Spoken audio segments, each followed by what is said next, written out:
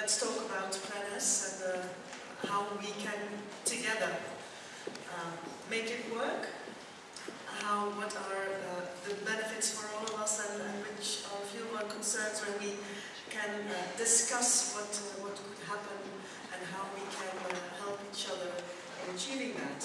And of course we have several panelists to discuss that because the end goal is open access to scientific information. Um, and Neil Jacobs will first uh, talk uh, about PlanS, uh, say a bit more on the principles because some of you uh, may not uh, be aware of the latest developments on PlanS. So what is the status at the moment? Uh, what is happening? Neil is now interim director at Coalition S, so he's the perfect man to, to tell us all about it. Now, there are some reactions uh, and some uh, insights of other stakeholders in this process. And uh, Vasco Vaz of FCT, the Portuguese uh, funder, is here to, to tell us more about uh, FCT's position. Uh, Luke Drury from ALLEA, so also the academies here in, uh, in Europe, uh, have a position on this and, and want to work together. And the Global Young Academy is represented by so um, we'll first have uh, the presentations, uh, a longer one on uh, PlanS, and then uh, the three panelists uh, will uh, give, give their statement and their view, and then we'll have a discussion. And we really would like to have a discussion, not only questions and answers, but engage in, uh, in, in the discussion here in front. And I hope uh, you have uh, some, uh, some things in your head that we can discuss today. So first, let's welcome Neil Jacobs and uh, hear about the latest developments on PlanS. Neil? Um, thank you, Inge, and thank you to Eli and uh, the rest of the programme committee for uh, inviting me. I'm really pleased to be here. Uh, it's been a great uh, event. I was very pleased to learn lots about the European Open Science Cloud yesterday and uh, the panel session on research assessment. It was very good. So I'm pleased to be here, but I'm also really disappointed to be here, I'm honest. Like many of you, I've been working on open access for about 15 years. Um, and you know, in some ways it's quite disappointing to be up here again, talking about it again, uh, and having a plan again to try to make this happen. I, I hope that I won't have to be up here in another 15 years talking about it again. So PlanS, which I think is the way that we're going to avoid uh, that happening. Uh, if, it, if I didn't think that, I wouldn't have uh, joined as interim program manager. So this is what I'm going to talk about. Uh, a little bit about uh, PlanS principles and summary of the changes to the implementation guidelines, just to give you a flavour of what those implementation guidelines say, if you haven't had a chance to look at them. Say a little bit about how we are working with a wide range of stakeholders and some of the other activities that we're doing at the moment. Um, I guess there may be time for one or two questions, but uh, the main discussion, and I do hope it is a discussion rather than questions and answers to me, um, will happen after, as we said, after the awards. So PlanS. PlanS is a plan of uh, research funders. Um, collectively we call ourselves Coalition S, and it's built on a strong set of principles. And I think, and I hope these are principles that we could all sign up to, that no publication should be locked behind a paywall. What we're looking for is immediate and full open access, no embargo periods, a proper license, no copyright transfer, and transparency about pricing and contracts in the market, where these uh, publishing services are offered in a market scenario, we want that market to be transparent. And where they are offered in a market, we would like, uh, uh, we as funders commit to supporting those fees at a reasonable level. Now, this is the most important point, I think, and one that I really want to stress and will carry on stressing throughout this presentation. There are multiple routes to open access compliance. Plan S is not only about APCs. Can I say that again, please? Plan S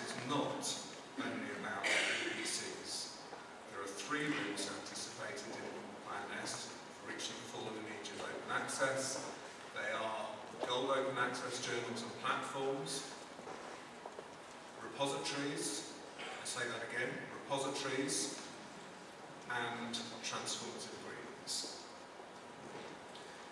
And importantly, as we heard yesterday in the panel session, research assessment plays a key role in the transition that we're trying to make here.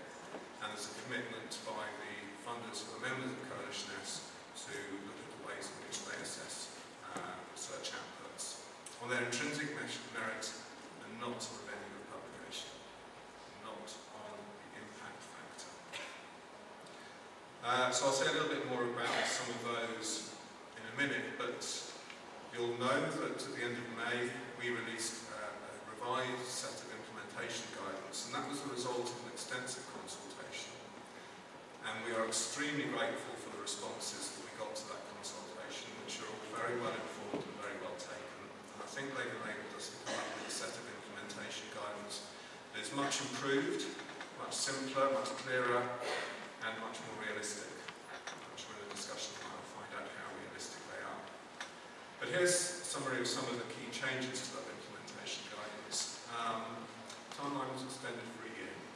So we're not starting in three months, we're starting on the 1st of January 2024. And transformative arrangements, where those are a part of the transition will be supported by Again, greater clarity on compliance routes. Coalition S is supports a diversity of business models. Really interested in innovation in the delivery of full and immediate open access. It's not only about EBC. And um,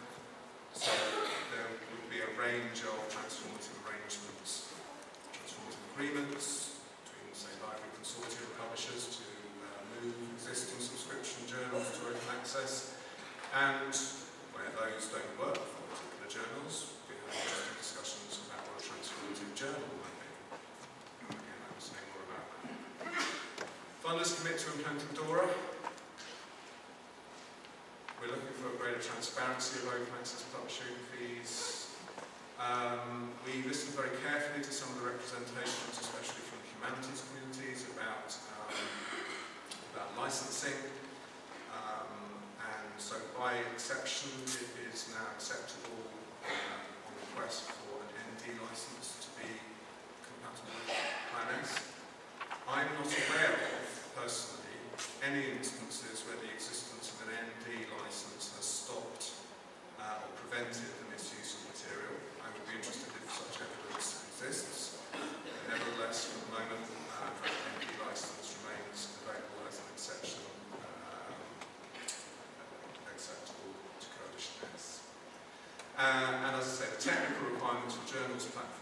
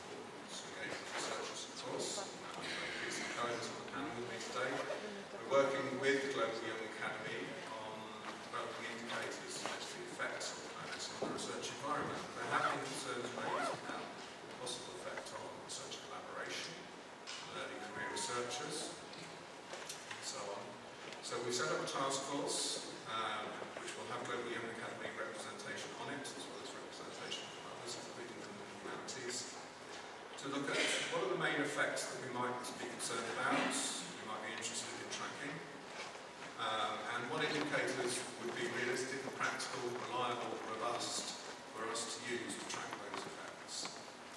Um, that's a potentially huge task, we need to make it practical,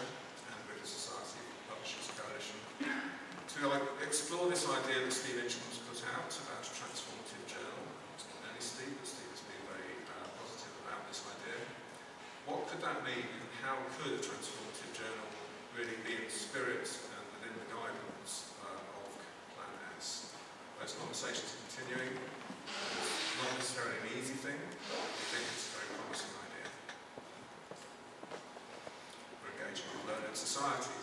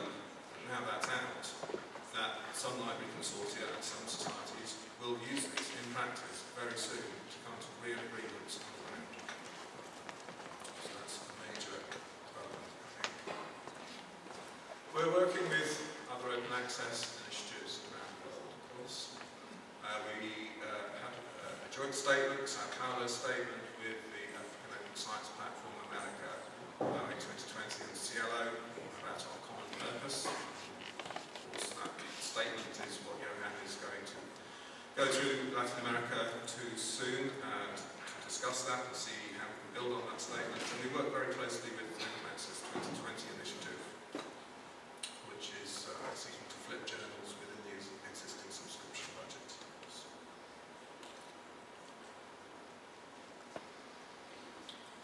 So I'll say a little bit more about some other activities that we have ongoing at the moment, which you might be interested in.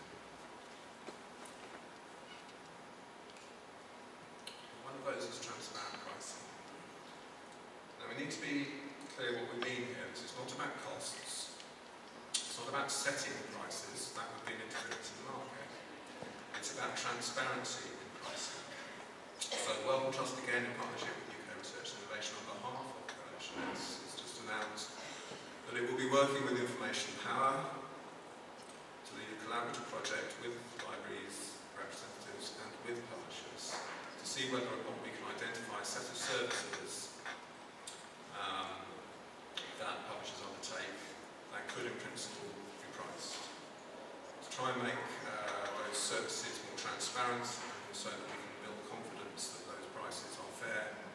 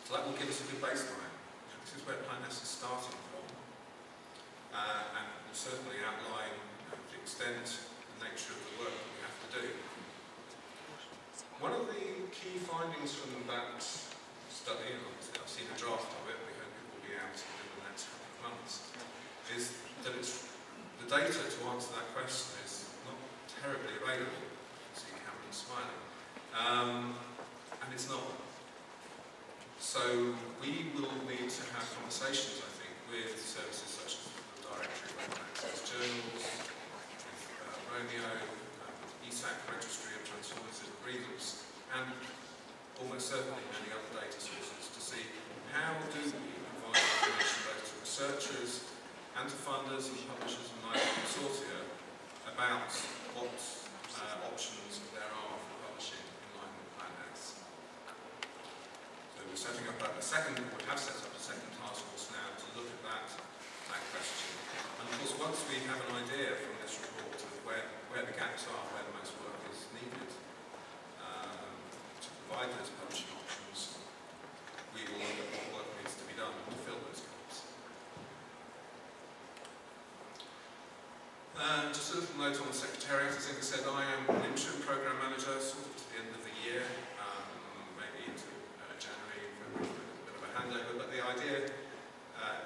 proposal is that there will be a formal Coalition S office set up. At the moment, Coalition S uh, is not a legal entity. They can't employ people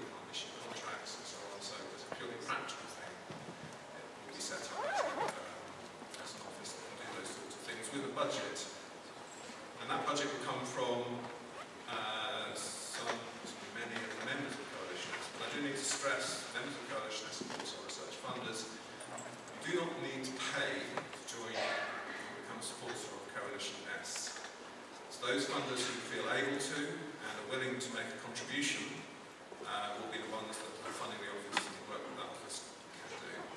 Others may not be able to make a contribution, and that's fine. So here's a quick summary, which you'll be able to see on the website, um, of really what I just talked about, work that we're doing up till the end of the year, into next year. Um, I missed anything there out, except, of course, there are some things that we simply don't have capacity to address in the next few months. When I first joined Coalition S, I did a review and went through all of the commitments that Coalition S had made over the past few months and drew up a very long programme of work that Coalition S would need to do in order to meet those commitments.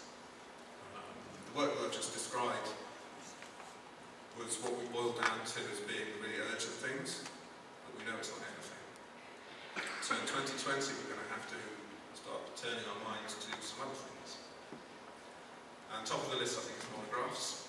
We've made a commitment by the end of 2021 to make a statement on monographs and to issue some implementation guidance. So we're not thinking about that now. We know some really good people are thinking about that now, and we will look forward to having conversations with those people DORA, again, we've made a commitment that Coalition S funders will implement DORA. Now what does that mean? What does that mean for different funders in different jurisdictions? What does that mean in terms of their relationships to the people they fund, to the institutions that they fund? Again, there's some thinking to be done around that. It's not necessarily straightforward, although I think the principle is absolutely straightforward. And we will be doing that, uh, that thinking over the next year uh, in discussion with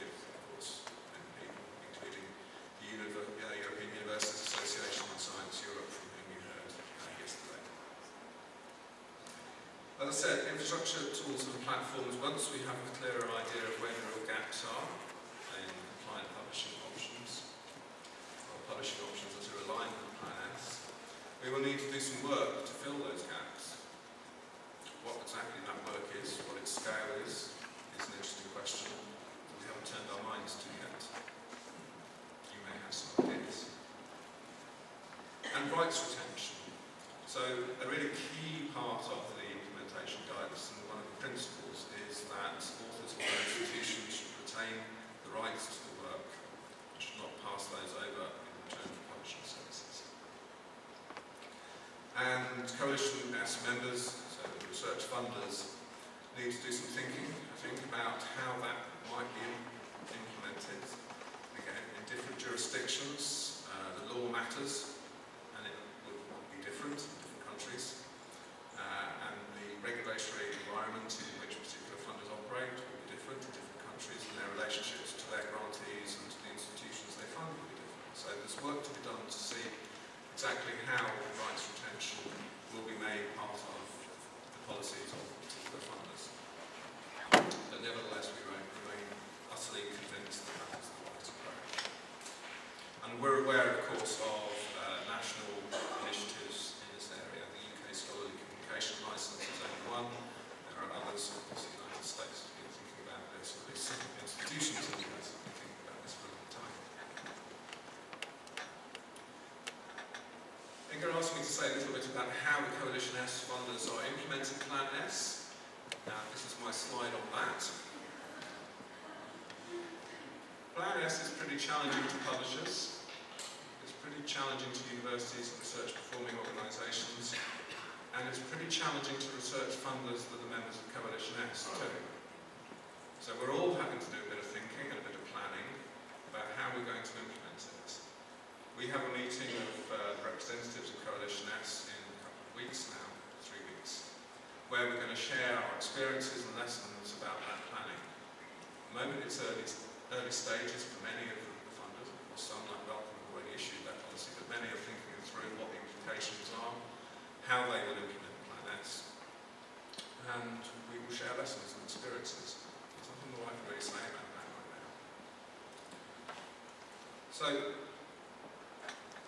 I'm looking forward to the discussion.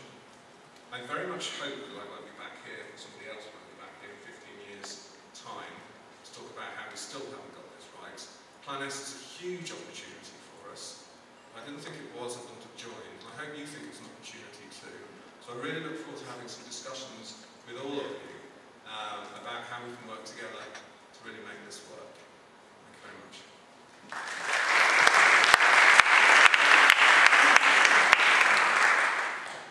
We have time for one or two questions, or three questions, discussions, that's for afterwards, uh, when all the panelists have said something. Hi, this is Pilar from Spain, from the Spanish Foundation for Science and Technology. Thank you for your presentation. I wanted to ask you if you are aware of um, if the European Commission is any of Plan S recommendations within the rules for participation in Horizon Europe. Because I know uh, the discussion is being taking place right now, and the member states, we have been working on the rules for participation, and since the European Commission and ERC are included in the coalition I would like to know uh, anything about this. Thank you. Thank you for that question. My first response is, is there anyone from the EC in the audience who would like to respond to that?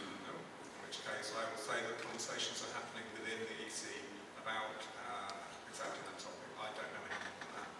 But of course, Jean-Paul Bergman works very closely as the Assembly with, Coalition. So we're very close, but I've got no more explanations, but I have a question about what will happen with, uh, well, apparently those uh, funders um, contribute to 300% of the publications in, in the world, more or less. What happened with the authors that uh, will not be funded by these bodies, and they still uh, want to publish in one of those journals that probably flip into the open access uh, model, I mean, have APCs, but they are not funded and they have not uh, enough um, uh, resources to pay for that. Thanks. Can we spoke yesterday and promised not to give me any difficult questions. Um, so look, there is an issue there, and the task force that I, well, there is a potential issue there. Um, and the task force that I mentioned was looking at the effects of implementing Plan S. We'll need to look at those sorts of questions. But I would stress that green open access route is absolutely part of Plan S. And if uh, you know, that, that remains on the table. Um, the effects on research collaboration are in scope. Um, but I think it's fair to say that we all want to move to a place where the journals are open access. And we just need to make sure collectively together the models by which they move to open access are ones that don't impose those sorts of barriers on people that, that don't have funding. I don't have a better answer than that, I'm sorry. I'm looking forward to the expertise in the room helping us work that out. Let's keep it at that for the moment, but uh, we will continue after the other three speakers. So, next, um, we will look at uh, the Portuguese case, uh, I'd say. Uh, Vasco Vaz uh, was represents the uh, FCT and will tell us more about their views on open access and Good morning, everyone. Thank you very much to the Open Science Fair organization for giving us the opportunity to be here. Um, I will speak a little bit about the issues that affect FCT, but I have to contextualize. I have to explain a little bit what FCT does, which in many ways is different from other funders. But I think we face very similar issues regarding Plan S, and, and I think other funders may relate to us in, in our own experience. So, uh, we are the Portuguese National Funding Agency for Science and Research under the responsibility of the Ministry for Science, Technology and Higher Education.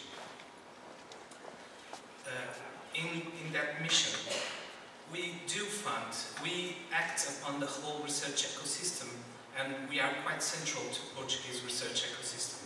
So we fund people, we fund grants, scholarships, ideas in the form of projects, and specific programs, for instance, in artificial intelligence research, for instance, and we fund institutions also, uh, and research infrastructures at the same time. Uh, we also have uh, offices dedicated to knowledge transfer. Uh, we perform international cooperation. Uh, we, uh, I already said that, we also fund research infrastructures. One of them, or several of them, are related to delivering open access content. In terms of strict scientific communication, we also fund, we manage and fund most of the National Library Consortia for universities. So we have uh, b-on, which is a service that we manage and fund almost in its entirety. And uh, um, this, this uh, is data from 2016, where we had uh, agreements with 18 content providers amounting to around 15 million euro, uh, serving more than 60 institutions throughout the country and more than 350,000 users, uh, which amounted to around 10 million downloads. And we also have this, this kind of service, like a search portal, which aggregates all the content made available uh, within this consortia framework. And also uh, activities to uh, provide training to library managers. At the same time, we have a National Open Access Initiative, which dates back from 2008. Uh, we have a series of electronic services, like helping universities to, um, to set up their own repositories, providing uh, storage for repositories, open access repositories. Uh, at the same time, we set up a, a research portal, uh, a portal uh, for, for where we can um, retrieve all open access, which is made available through the, the national repositories and which is also um, a part of OpenAIRE, of, of, the OpenAIRE infrastructure, so we can retrieve all these materials through OpenAIRE portal. At the same time, we also have a scientific journal hosting service, where uh, the mission was to provide an opportunity for print publishers, Portuguese print publishers, to migrate to the digital world, and in doing so, making it open access. Um, and as far as we know, there are no fees to publish in those journals. Uh, So at the same time, we provide support services for those journals. The repositories um, reach over more than 126 institutions. Uh, the aggregated documents right now amount to more than half a million documents, and uh, have more than 25 million dollars per year. So, um, it, our initial reaction to Plan S was that we supported the Plan S objectives when it was originally published in you know, last October. And then we recommended that the Coalition S members uh, ensure that transition models do not reinforce the monopolistic nature of the scholarly publishing market. And we also uh, called for Coalition S members to reinforce mechanisms for positive incentives within research evaluation funding systems, and above all, to recognize and adapt models of open access publishing to new forms of creating and communicating science, since we, at that time, felt that uh, the initial statement of Plan S was too much focused on, on the traditional ways of communicating science, and that would maybe limit our ability to embrace new forms to communicate science, which are exploding right now, especially uh, born digital forms of collaborating, doing research. Of course, then there was the, the publication of the guidance on the implementation of Plan S, and uh, we felt that by now this guidance addressed a number of concerns. Of course, we uh, we supported the, the, the no copyright transfer principle above all, and also the the principles that uh, stated that Coalition S members would uh, implement the DORA principles in their research assessment systems. But uh, I'm going to say that um, what maybe differs our view from other other uh, stakeholders is that we, we thought what is original that the scientific communication environment should be regarded as an ecosystem comprised of several complementary or symbiotic systems, journals, platforms, or repositories. So we think that this should be stressed in the implementation and that there should be ways to make those systems converge towards delivering full and immediate and uh, open access. Uh, right now, we feel that uh, lots of, of those uh, suggestions have been taken on board, but for us and, for our own specific situation, a major issue remains unsolved. Is the, co- the commitment that where applicable open access publication fees are covered by the funders or research institutions, not by individual researchers. Of course, we, we feel that researchers do not have to pay for their own, for, for having to publish. However, this for us uh, is, is not, in reality, is, um, is something we cannot commit to. We have here a graph that shows that uh, are projections from 2016. Uh, and uh, this, uh, in, in, the, in the right axis, you see the, the costs uh, that we in 2016 had with both subscriptions, with investment in green open access uh, services, and also the, the APCs, uh, according to data um, gathered from the Web of Science.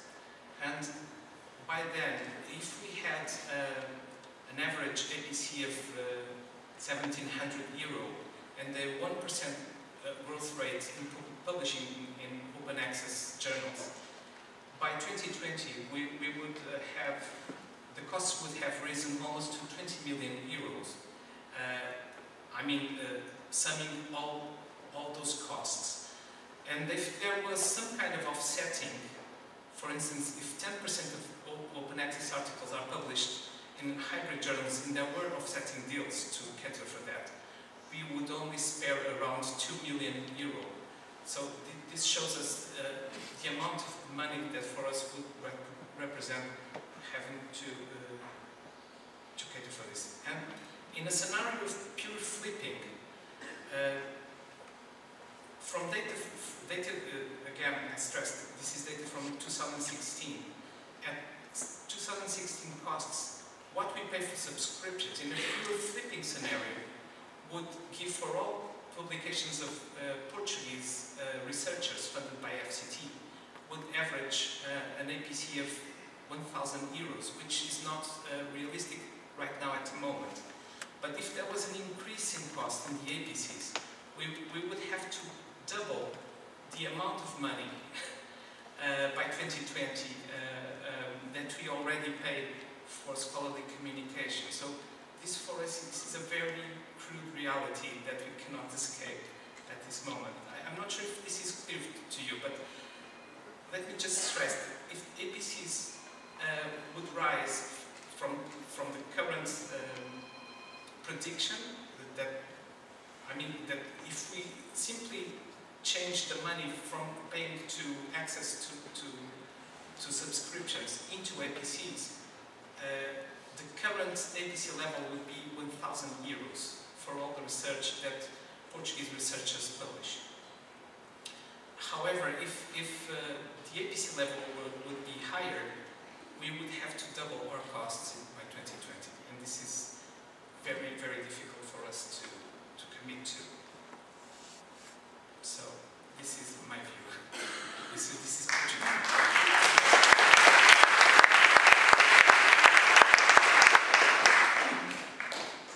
We'll keep that discussion for afterwards. Thanks a lot, Vasco.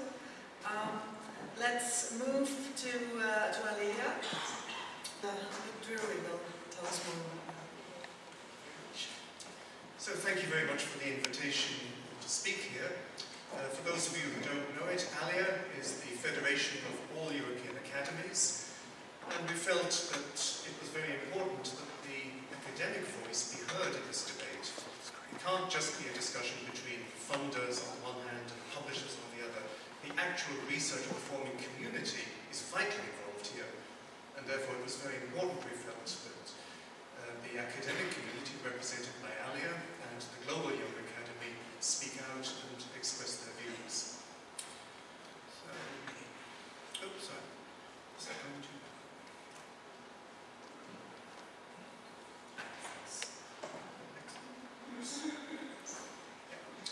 Uh, so first of all, um, I think we're very pleased that the revised implementation plans which have just been presented we think they represent a very big improvement. They're much more realistic. They're much less prescriptive. I think all of us agree that the early version was ridiculously over-prescriptive as far as repositories were concerned. I still personally think there is too much emphasis on APCs and probably not enough on the role of preprints, repositories, new publishing models. I was very pleased to hear that the Portuguese funding agency also take this view to some extent. Um, we felt that there was an urgent need to bring in global voices, and in particular, as has become apparent, there are very interesting models from the global south, from Latin America and Asia. Uh, so again, it's very encouraging that this has been taken on board and this is being acted on. I think a key message coming out is that actually there is now no going back. Uh, Plan S has achieved, in some sense, what it set out to do. It has revitalized the whole discussion about open access. Everyone now agrees that we must have open access. Uh, the question, of course, is how do we get from where we are to where we want to be?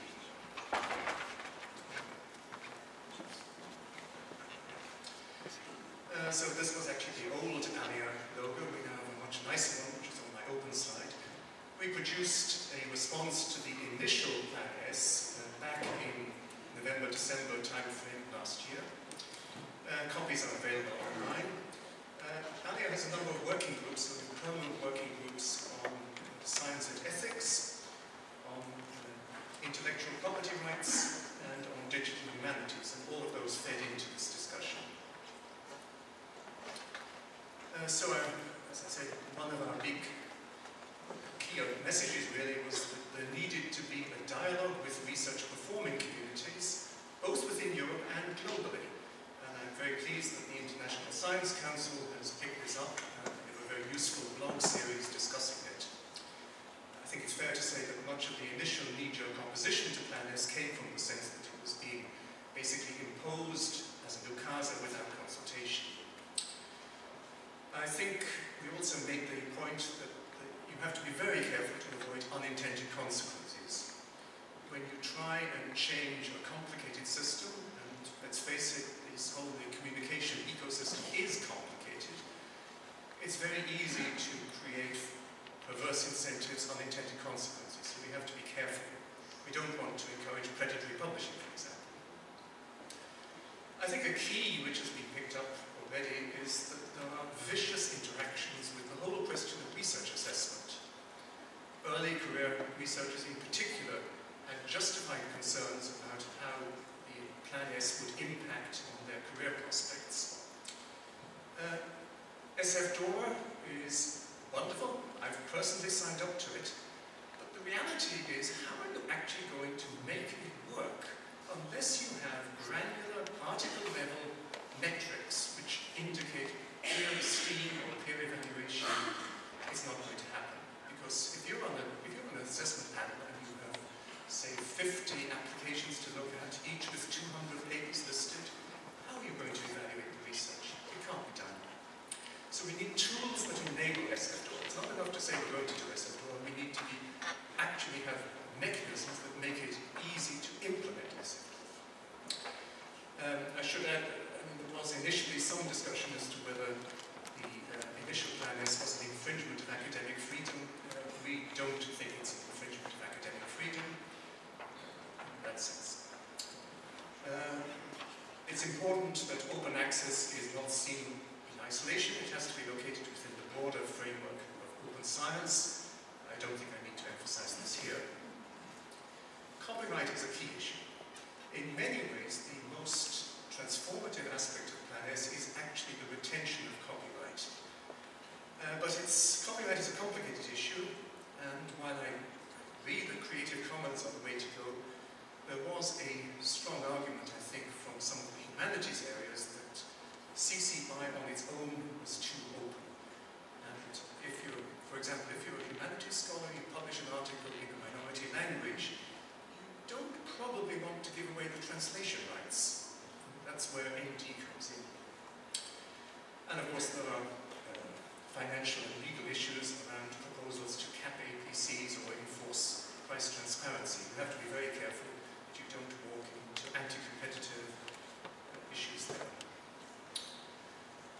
Uh, so just to pick up on some of those issues, the International Science Council has this rather good blog series, a very interesting interview with Dominique Babini on AmeliCA and how it's done in, the, in Latin America, which I think is a very interesting model that shows that there are actually non-APC-based federated institutional repositories can be a very effective route to open access.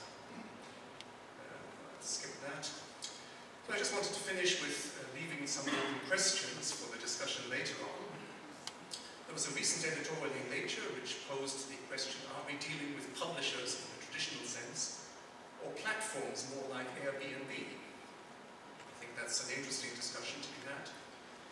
Are the so-called transformative deals really transformative in any meaningful sense? I would prefer to call them transitional deals. It seems to me that they actually, to a large extent, simply entrench existing models and power structures. And I, I'm not a fan of transformative deals. I think the key to implementing SF DORA will somehow be separating peer review from publication. We need a much more transparent and fit-for-purpose form of peer review, and it shouldn't just be a binary accept, reject. It should be an ongoing process of evaluating the impact and merit of research. And of course, this ties into the question of how do we escape from this absurd fetishization of journal impact factors, which I think we all agree is very destructive to science. So I'd like to leave those questions for the discussion later and hand over to the Young Academy.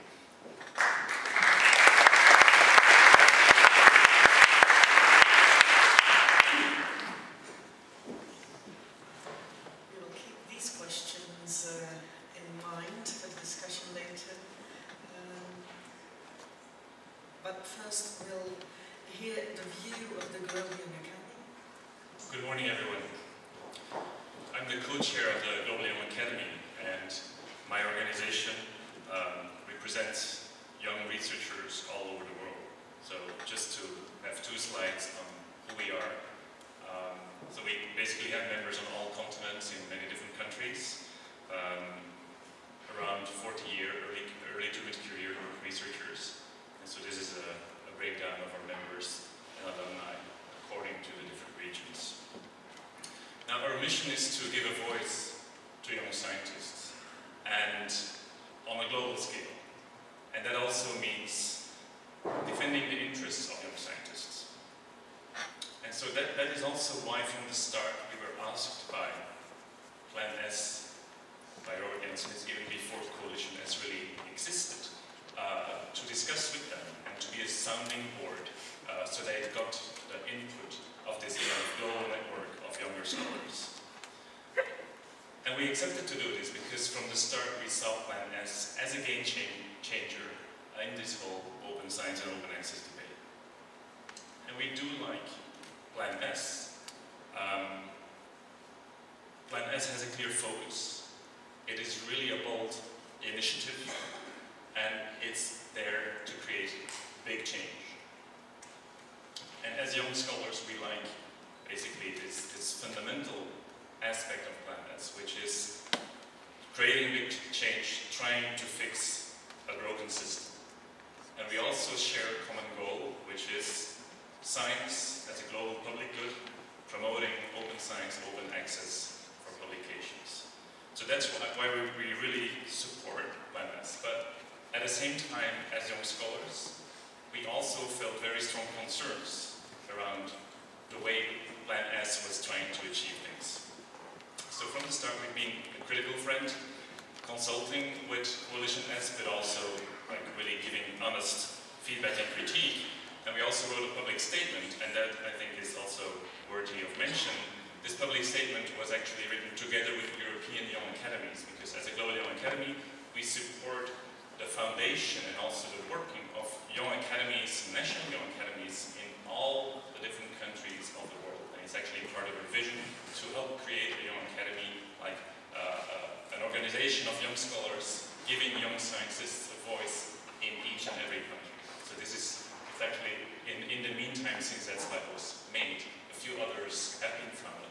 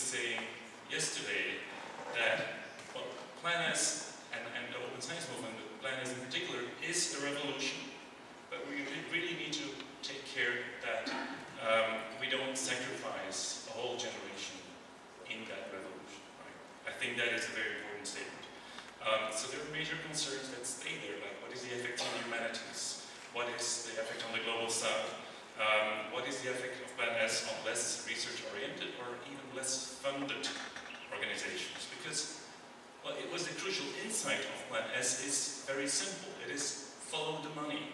Right? And of course that is also the weakness of Plan S. The Plan S is focused on the money. Plan S is focused on big players. Plan S is focused on where the power lies. And that creates obviously problems uh, if you think about all these other stakeholders that are not central in that money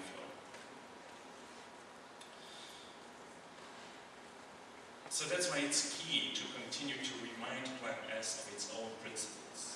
So this is one of their principles. And I struck out where applicable because I think that's kind of unnecessary hedging that, that kind of uh, compromises the boldness of Plan S. I think Plan S needs to be bold not only in like looking at funding and so forth, but also it should be bold in its principles that protect the researchers. What, what is important here that uh, it's not the individual researchers that should pay. Every, all researchers should be able to publish their work open access. I think that is very important. And to understand what's going on here, I think it's good to not to talk too much about gold and green and diamond and these models, but to reformulate the question, and that is question one, who pays? And question two, who has access? And that question has two parts. Who has access to reading, but also who has access to writing, who has access to being an author? I think these questions do clarify our view on this matter. Who pays in this principle for? Who will be the payer? The funder, the institution, the libraries? It, it, it all creates differences and, we, and that needs to be resolved.